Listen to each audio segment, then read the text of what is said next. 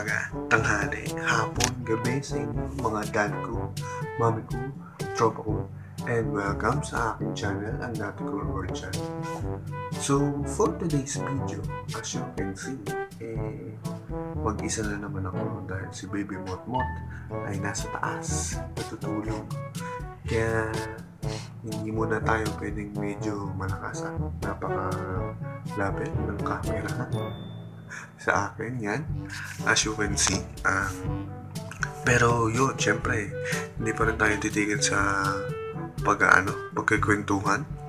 And, uh, pagkikwentuhan natin ngayon, since it's uh, araw ng mga puso, is yung mga ganap tuwing araw ng mga puso.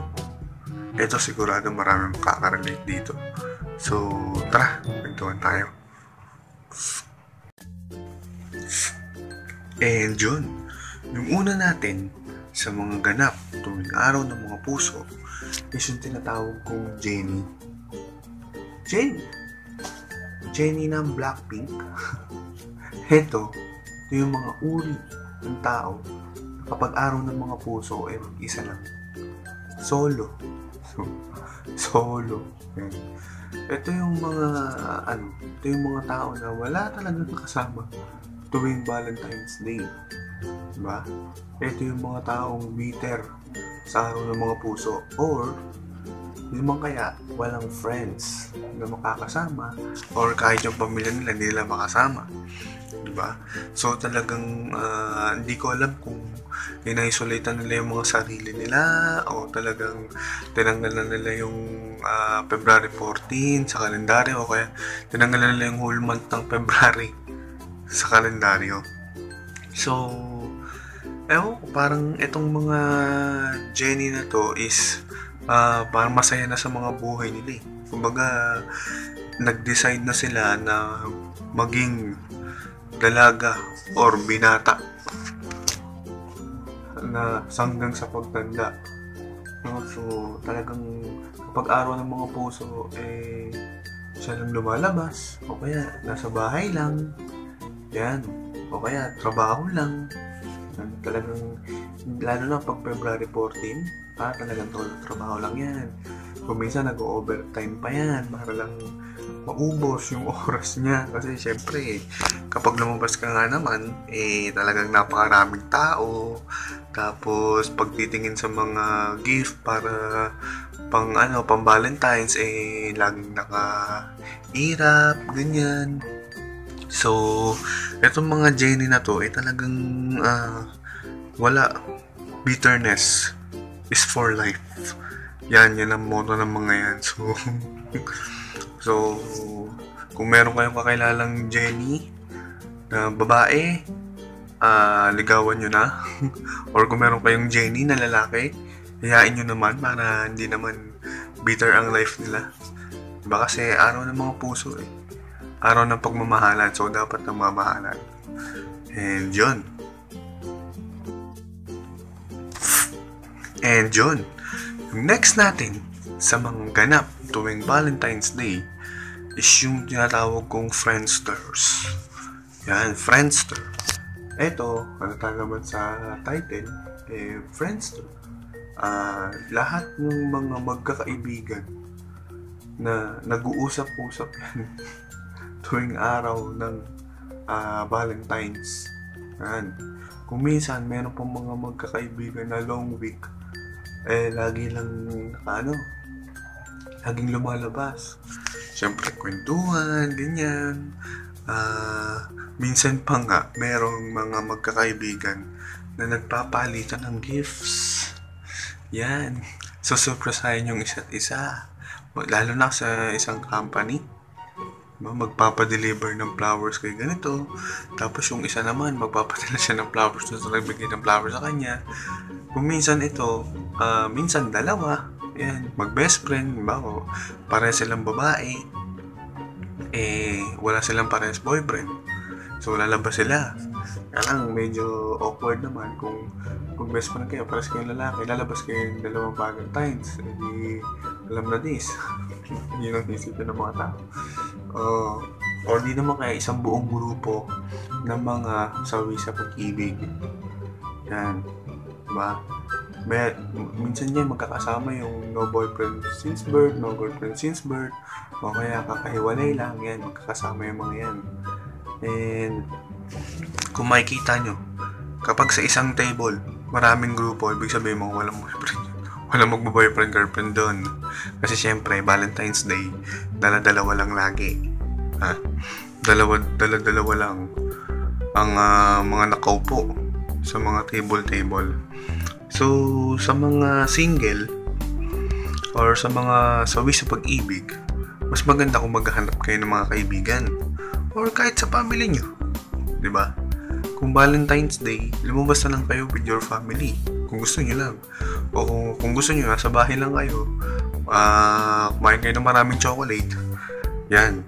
Pero mas maganda syempre kung meron kang kasama. Diba? Meron kayong kasama dahil nakakalungkot ang isa. Habang iba ay nagsasaya, eh kayo, nalulungkot. Diba? Kaya, you, uh, maghanap kayo ng kaibigan or mga kaibigan nyo, yayain nyo para at least hindi kayo nalulungkot. Diba? At hindi kayo naiingit. Diba? But sa mga bitter dyan, eh, alam na this. Talagang mas gustong kasama ang kaibigan at pamilya sa araw ng mga puso dahil ayaw nang umibig ulit.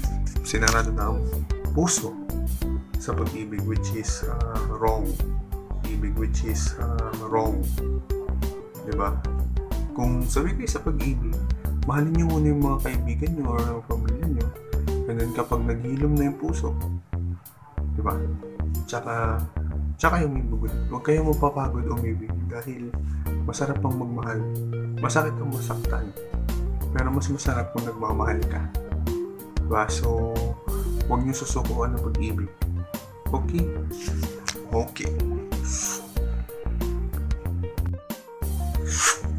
And yun, yung next natin sa mga ganap araw ng mga puso is yung tinatawag kong bulaklak bulaklak, bulagta sa laklak.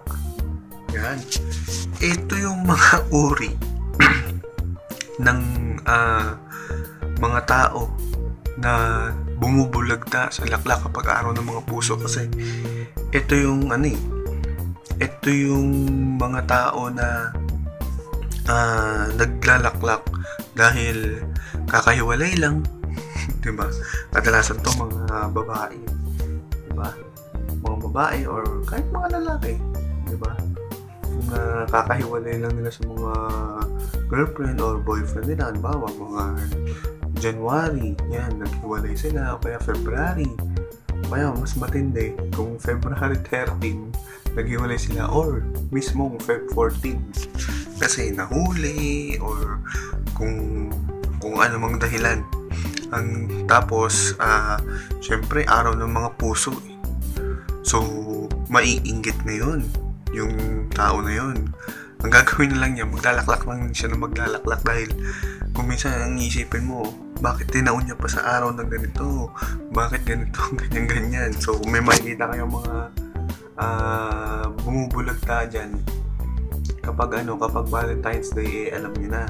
Hindi yan, hindi yan masaya hindi yan masaya sa pag-ibig. Sawi sa pag-ibig yung mga yan. Kaya bumubulagta sila sa kalalaklak.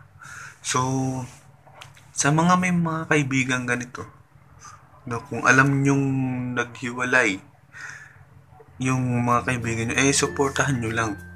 Pero syempre, kung meron kayong date sa araw na yun, eh talagang hindi nyo matutulungan. Lang namang itigil nyo yung pagde-date nyo para ano, di ba? I-text nyo lang o kaya tawagan nyo, i-comfort nyo kahit paano. Pero, syempre, para dun sa tao, kung sa, kung sa akin, ha, medyo masakit din kasi, syempre, ah, uh, kakahiwalay mo lang eh, tapos tatawagan ka ng kaibigan mo may ano, kung, kumbaga syempre, natural, natural na reaction ng tao is nang iinggit ka So, i-text mo lang na okay lang yun. Hindi okay yun eh. Text mo lang na kaya mo yan. Yan. Yun lang. Then, huwag ka na magsalita ng iba. Kung mag-reply man siya, okay. Reply mo, pero wag mo ubusin yung oras mo kasi baka naman yung boyfriend o girlfriend mo naman ang magalit sa'yo. Di ba? And then kinabukasan, kausapin mo siya. Kausapin mo yung, yung kaibigan mo na yun. Siguro maintindihan ka naman din. Or palipasin mo lang ng mga ilang araw. Diba? Basta supportahan nyo lang. Diba? Sa, sa family din, yan, ah, uh, supportahan nyo rin, syempre, nasa, ano na yun, nasa stage na yun na ina-accept niya pa lang. Basta dapat nandyan lang yung family. Diba? So, sa mga naman, sa mga bulaklak dyan, tuwing araw ng mga puso, eh, huwag nyo sayangin ang inyong buhay kapag nasawi kayo sa pag-ibig. Diba, maghanap kayo ng paraan para maging masaya ulit. Diba? Huwag nyo uubusin yung oras nyo sa pagmumukmok. Oo, pwede kang umiyak mga ilang araw, pero yung magpapakawasak ka, eh medyo ano rin. But kung yan yung ano nyo, yung way nyo para uh, ma-relief, eh sige go for it. So, yun. And yun, yung next natin sa mga ganap tuwing araw ng mga puso is ito. Pinaka big time to. Yung tinatawag kong dangwa. Dangwa. Araw ng mga puso, laging may dangwa. So, ano yung dangwa? Ito ay rated SPG. Striktong patnubay at gabay ng magulang ang kailangan. Maaaring may masiselang tema lengguwahe, karahasan, sexual, horror o droga na hindi angkop sa mga bata. Daga ng wagas. Yan. So, ngayon, uh, kung ting, pansinin nyo, tuwing Feb 14, napakahaba ng pila sa mga hotel, motel, at umaabot pa sa labas ang pila tuwing February 14 at talagang kumikita ng sobra-sobra ang mga ang mga motel dahil dito sa daganang wagas na to, nadangwa na to. So, dahil ngayon ay 21st century at talagang pag-araw ng mga puso ay parang uh, rek, uh, ano ba to? Matik na na mayroong daganang wagas na mangyayari dahil uh, alam niyo naman na ewan ko, masyado na mapupusok ang mga tao ngayon. yun talagang, pag may kita mo, pag February 14, parang araw, araw din ano eh. Parang laban na rin ni Pacquiao, ganyan, o kaya uh, undas na. yan talagang sobrang, ano, sobrang tahimik lang. And then, kung makikita mo, pag ano, merong, merong mall, tapos katabi ay motel, talaga napakahaba ng pila sa motel. And meron pa daw na nagbabayad ng doble para lang sa tabi mo. Diba? Yun talagang sinusulit ang uh, araw ng mga puso. No? So, una, um, pupunta muna yun sa mall. Yan. Punta muna ng mall yan. Tapos, kakain, syempre, gala-gala. Kapag dumating na ng uh, mga bandang paggabi na, yun na, didiretso na yun doon. Upo sa basement, maghihintay ng number. Tapos, yung iba, syempre, late. Eh, pipila ngayon dahil sobrang haba. Kapag ngayon, ah, uh, uh, nagpa-extend yung nauna, ay patay ka, hintay ka na naman ng isang oras. Punta sana kung isang oras, minsan dumadalawang oras pa. So, talagang ito, yung matik na kapag ano, kapag araw ng mga puso eh, is yung dangwa. Di ba? Una, punta ng dangwa para bumili ng bulaklak. And then, magdadangwa. Pagkatapos, bigyan ng bulaklak, chocolates at pearls. So, sa mga millennials ngayon, 2 for 8. kung, kung yan ang trip nyo at meron pa nga daw nagsabi na okay lang kahit walang bulaklak. Basta meron basta may period pagdating ng February 15. Ah, so, yon sa mga ah, magjowa sa araw ng mga puso, eh, siguraduhin nyo lang na safe ang inyong dangwa. No? And kung hindi pa kayo prepared, ah, be safe. At ba't hindi ko inaano yung premarital sex, hindi ko pinapromote yun. No? Kumbaga, eh, kumbaga, ako, personally, siyempre, hindi pa naman kami, ano, no, kasal. But, kung hindi kayo ready, di ba? Hindi kayo ready, eh, mag-ingat na lang kayo dahil hindi naman kayo mapipigilan. So, alam ko namang hindi kayo mapipigilan. So, huwag niyong i-risk yung buhay ng mabubuo nyo dahil lang sa ilang oras na sa di ba kung hindi pa talaga kayo handa eh mag contraceptives na lang kayo. Dahil kahit ano sabihin sa inyo hindi naman kayo ah makikinig no? So wag bara-barabay no? Kung nag-aaral pa kayo eh talagang kailangan nyo mag-ingat. Diba? Parang hindi na rin ano na pigilan eh. Diba? Na wag gawin yun. Diba? Kung kumbaga kapag sinabihan kayo eh hindi naman din makikinig so mag-ingat na lang. 'Di ba? Kung wala pa sa plano niyo talaga 'yun. Wala. Or kung wala pa isa sa inyo ang may plano na 'di ba? Huwag muna, huwag muna kayo magbubuo. Okay? So sa mga magdadangwa ngayong ah, araw ng mga puso eh good luck sa pagpila sa mga motel at meron naman kayong mga boarding house, yan, sige, enjoy nyo. enjoy nyo lang yan, dangwa nyo. And, yun. And yun, yung next natin sa mga ganap tuwing araw ng mga puso is yung tinatawag kong chocolate. Chocolate. Yan. Ito, mga linyahan to ng mga mag-uutak eh o mga wais. Yung chochorba ako kahit late. Yan. Siyempre, Feb 14, eh, 14 eh, hindi pa yan sahod eh. Diba? Maswerte ka kung masahod mo in advance. But siyempre, ang mga ano, ang mga sahod eh talagang binibigay ng akinse.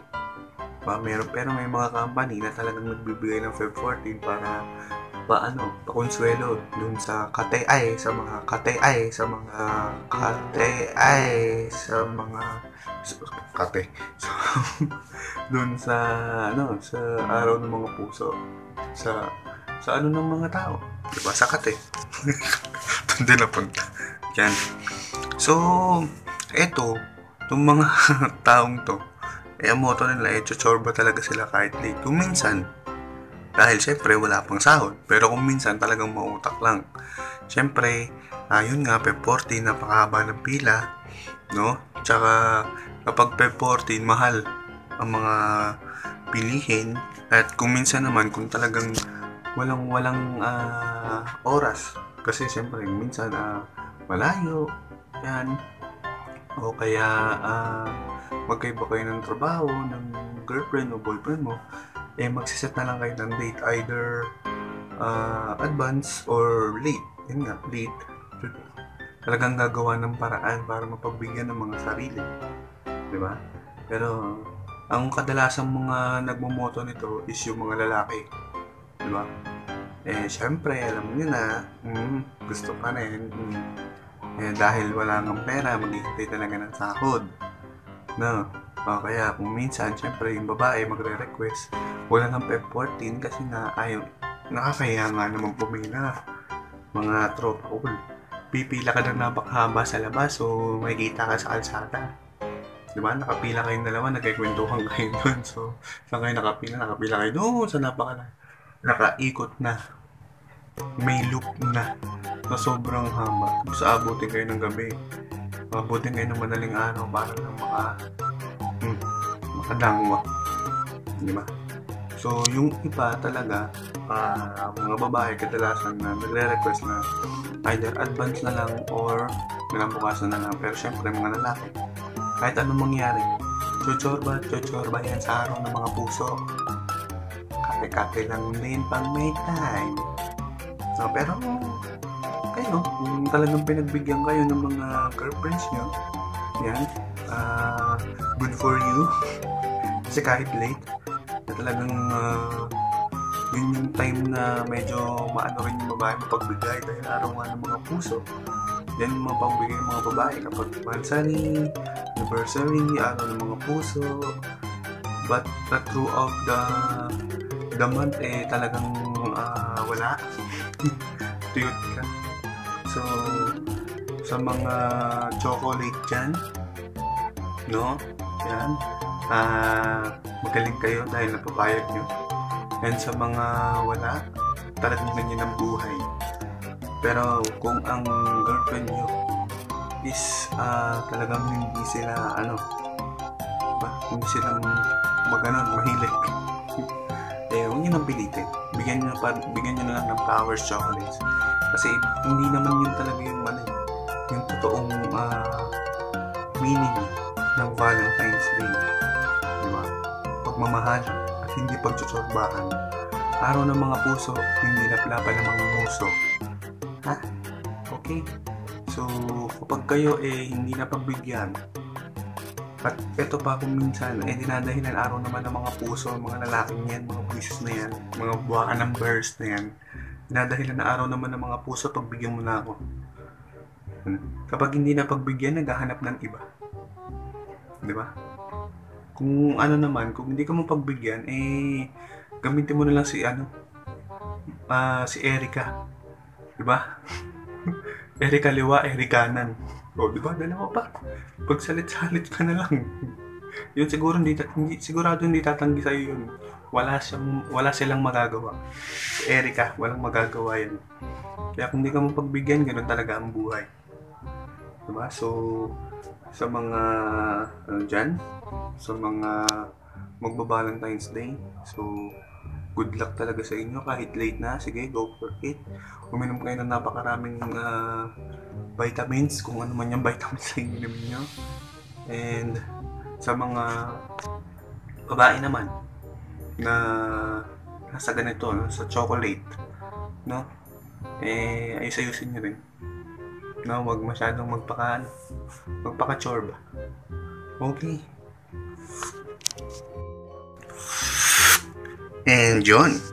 So, thanks for watching for today's video and sana ah meron kayong natutunan kahit papano or meron kayong ah, nalaman na napakalagang impormasyon sa mga pinagsasabi ko. And since araw ng mga puso ngayong month, eh, ingat-ingat lang din dahil ah syempre ah, hindi naman na kayo mapipigilan sa mga katihan ng mundo sa kamunduhan. Eh, kung ako sa inyo, eh, kapag hindi pa kayo prepared sa mga bagay-bagay sa buhay, i-enjoy nyo na lang ang Valentine's Day, yung totoong meaning ng Valentine's Day, which is pagmamahalan. Di ba? So, kung kayo ay magbibigay ng flowers, chocolates, teddy bears, or anything under the sun, um, so para sa Valentine's Day, eh magbigay kayo pero huwag nyo nang hinga ng sukli ang inyong mga girlfriend or mga asawa dahil sasabihin nyo na Valentine's Day naman alam na this. Dapat ang kapag nagbigay kayo bukal sa puso. Diba? Huwag nyo nang sundutan ng kung ano man. Or, syempre, kung matik na yan, ay good for you. Pero kung hindi, huwag nang pilitin kung ayaw. Okay? Dahil Valentine's Day, parang ah, nagiging chorbahan day na eh. No. So, sa mga may date ngayong araw ng mga puso, yes, ah maganda yan. Kahit, siyempre kahit hindi naman Feb 14. Um, kahit ah kailan kayo mag-celebrate, basta nai-enjoy nyo yung company ng isa't isa. Diba? Sweet kayo, okay yun, maganda yun. Pero kung nagde-date lang kayo dahil para makapag-celebrate ng araw ng mga puso, pangit naman din yun. Diba? So, kumbaga, ah ginagamit nyo lang yung araw ng mga puso para sa inyong mga self ah, something. And yun, thanks for watching ulit. And sana ah, manood kayo ulit ng mga mga susunod kong video sa mga walang kakwenta-kwenta kong pinagsasabi tungkol sa buhay-buhay ng pagiging daddy ko. O kasama to sa pagiging daddy ko. So, yun, please, please subscribe to my channel and bye!